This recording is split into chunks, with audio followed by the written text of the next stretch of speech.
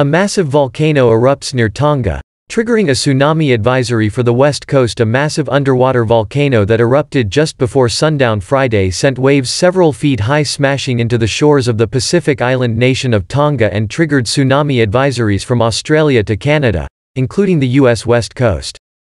Plumes from the explosion reached more than 12 miles above sea level, according to the Tonga Geological Services.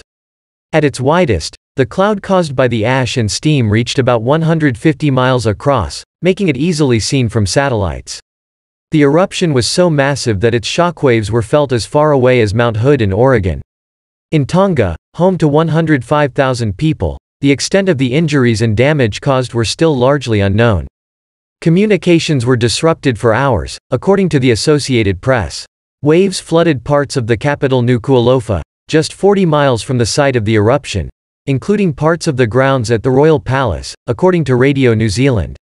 On Twitter, a Tonga resident named Faka'iloatonga Taumoefolau posted a video on Saturday showing feet-high waves washing across a road into homes. The activity from the Hunga Tonga Hunga Ha'apai volcano continued into Saturday morning with another, less powerful 10 to 15 minute long eruption, according to the Tonga Geological Service. Geologists saw massive explosions and lightning during the eruption Taaniela Kula, an official in the country's Ministry of Lands and Natural Resources, told the news website Matangi Tonga that geologists had observed massive explosions and lightning during the eruption. Big day yesterday indeed. It was great getting out there during the volcano's peak hours. It's a geologist's dream to see actual geological events in process, he said. Ash from the eruption could contaminate drinking water, the Tonga government warned. Residents were advised to cover water reservoirs and to check their roofs for ash before reconnecting rainwater systems. After the eruption late Friday, authorities from nations across the Pacific issued tsunami warnings and advisories, from Fiji and Samoa to as far away as Australia and Canada's British Columbia. New Zealand officials warned of unpredictable surges on the north and east coasts of the country's North Island. In Australia, a marine threat advisory warned that dangerous rips, waves and strong ocean currents were possible on Saturday evening. The Japan Meteorological Agency warned of a major tsunami surge expected to reach as high as 3 meters in the Amami and Takara Islands, two archipelagos to the south of the country's four largest islands. Elsewhere along the country's southeastern shores, the waves were expected to reach up to 1 meter, 3 feet, in height. Tsunami surges felt from Hawaii to the U.S. west coast The first U.S. state to feel the effects of the eruption was Hawaii, where waves over a foot were reported in Kauai and nearly 3 feet tall in Hanalei. We are relieved that there is no reported damage and only minor flooding throughout the islands, the Pacific Tsunami Warning Center said. The waves reached the western shore of the continental U.S. on Saturday morning.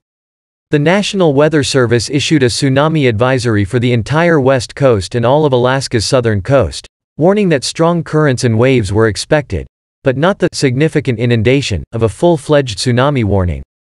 According to an NWS update at 1 p.m. Eastern Time, the highest surge was recorded in Port San Luis, Calif, where the water reached more than 4 feet over normal levels. The waves neared 3 feet high in King Cove in Alaska's Aleutian Islands and Crescent City, California, a small town near the Oregon border. Authorities had prepared early Saturday for the possibility of a small yet potentially disruptive surge.